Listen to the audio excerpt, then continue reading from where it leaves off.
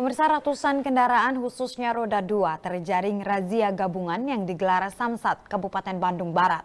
Di Kabupaten Bandung Barat, setidaknya 195 ribu pemilik kendaraan tidak membayar pajak. Padahal pemerintah sudah memberikan kemudahan bagi masyarakat untuk membayar pajak.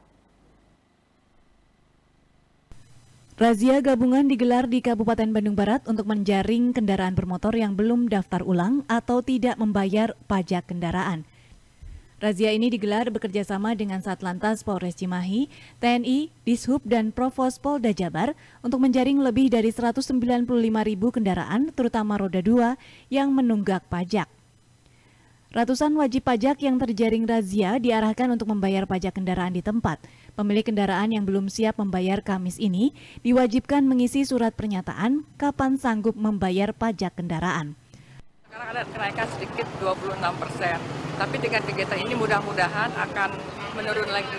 Karena juga sekarang e, pembayaran itu tidak tidak di Samsat Induk saja, ada pembayaran baru yaitu Samsat Jebret, Jawa Barat Gabret, bisa dibayar di Indomaret, Alfamart, Bukalapak, Tokopedia, dan masyarakat lebih dimudahkan untuk bayar pajak.